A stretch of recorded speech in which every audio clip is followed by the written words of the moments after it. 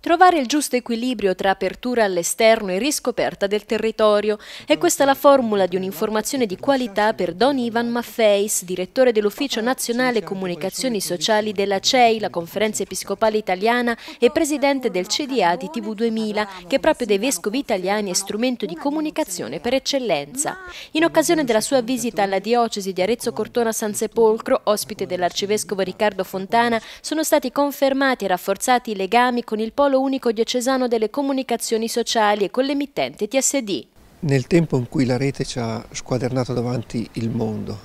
nel tempo della globalizzazione, abbiamo tutta una grande fame del territorio. Un territorio che non può diventare localismo, non può diventare chiusura, non può diventare le varie forme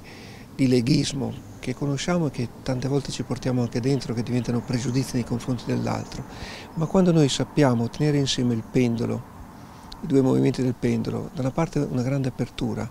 e qui TV2000 sicuramente può aiutare, ma dall'altra un radicamento sul territorio. E allora esperienze come Tele San Domenico diventano preziose, proprio per non parlare a una folla anonima, per non raccontare delle storie semplicemente emblematiche, ma per dar voce a quello che viviamo, alla nostra gente, alla nostra terra, ai valori che la innervano. Nell'era dei new media e di un'informazione troppo spesso urlata per sovrastare le altre voci, diventano basilari la formazione, la sensibilità e l'esperienza, come indicato da Papa Francesco. Credo che siamo un po' tutti stanchi di una comunicazione che usa le persone,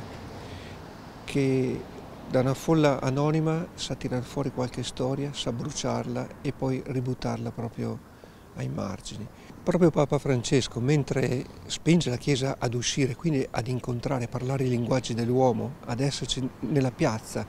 a fare della comunicazione un ponte, come lui ama ripetere, proprio per incontrare l'altro e per lasciarsi incontrare dall'altro,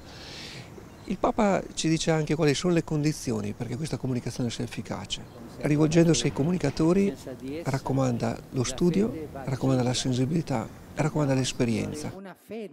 che si fa...